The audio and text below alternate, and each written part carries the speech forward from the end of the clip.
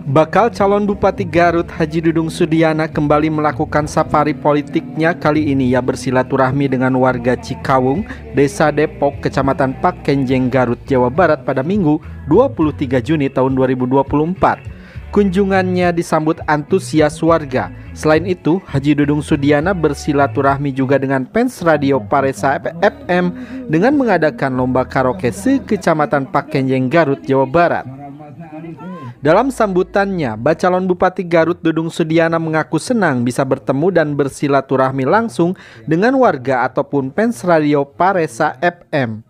Lebih lanjut, kata Dudung, dengan adanya radio Paresa FM ini bisa membuka peluang bagi semua ke depannya. Dudung pun mendoakan juga radio Paresa FM ini bisa lebih maju lagi ke depannya.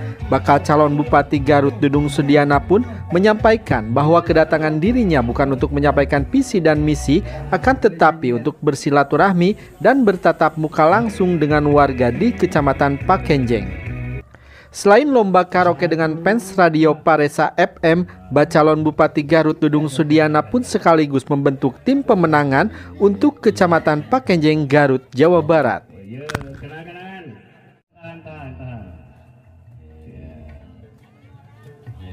Alhamdulillah, saya nyanggakan salam hormat, salam kenal juga uh, sudah diterima di kampung Cikawung, Depok, Des, uh, Desa Depok, Kecamatan Pakenjeng ya.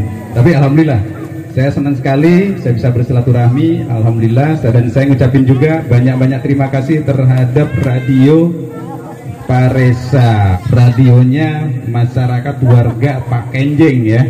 Ya, mudah-mudahan dengan adanya radio ini bisa membuka peluang untuk kita semua ke depan.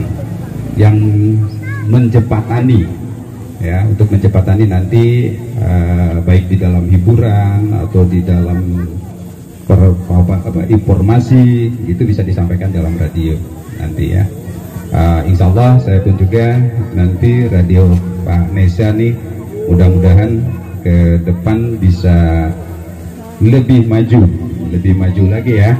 Saya pun juga ya nanti gimana caranya? Radio Panisa ini bisa sampai besar ya. Ya, sementara ini minta saran dan pendapatnya. Yang di mana bisa nanti kita catat dan masukkan ke dalam program kinerja saya ya. Di saat nanti kalau toh Allah mengizinkan ada milik rezekinya saya bisa mewakili Garut jadi uh, amin ya rabbal alamin. Jadi